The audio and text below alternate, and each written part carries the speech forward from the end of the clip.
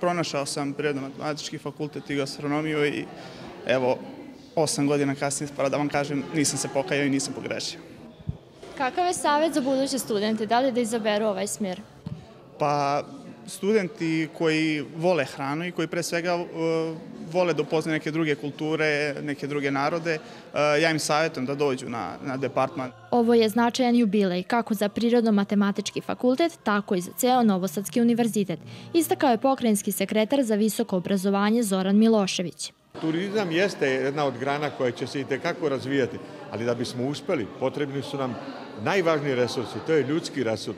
I oni koji su pored našeg stola, na recepciji, oni koji nas usmeravaju gde da idemo, da li su to možda prirodni rezervati ili su to neke manifestacije. Upravo ti ljudski resursi nastaju na Prirodno-matematičkom fakultetu, čija dekanica kaže da njihovi kvalitetni i obrazovani kadrovi doprinose razvoju privrede u našoj zemlji jer su to danas grane koje zaista e, privredi donose veliki e, boljitak, a sa aspekta jedne visokoškolske ustanove danas najviše studenta upisujemo upravo na ovim smerovima. U okrilju departmana danas se e, odvijaju međunarodni projekti.